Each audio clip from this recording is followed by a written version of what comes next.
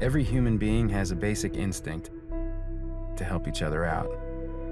If a hiker gets lost in the mountains, people coordinate a search.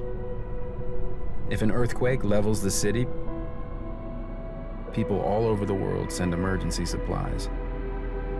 This instinct is found in every culture, without exception.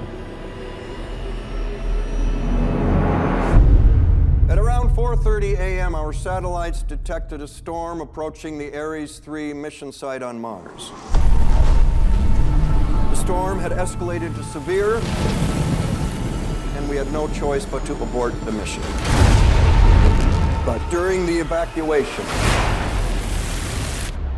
astronaut Mark Watney was killed.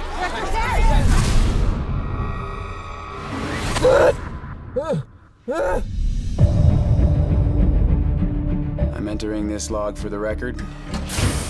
This is Mark Watney, and I'm still alive. Obviously. I have no way to contact NASA or my crewmates, but even if I could, it would take four years for another manned mission to reach me. And I'm in a hab designed to last 31 days. So, in the face of overwhelming odds, I'm left with only one option. I'm gonna have to science the shit out of this. Okay, let's do the math. I gotta figure out how to grow four years worth of food here on a planet where nothing grows. But if I can't figure out a way to make contact with NASA, none of this matters anyway. Houston, be advised. We've got a video message. It's directed to the whole crew. Play it. Mein Gott. Mark Watney's still alive. In your face, Neil Armstrong. We left him behind. Let's go get our boy. This is something NASA rejected. So we're talking mutiny. And if we mess up the supply rendezvous, we die.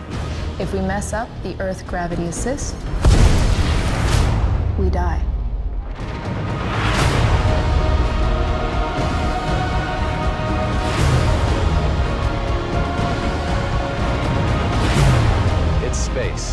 It doesn't cooperate. I guarantee you that at some point, everything's gonna go south on you. And you're gonna say, this is it. This is how I end. Is it possible that he's still alive?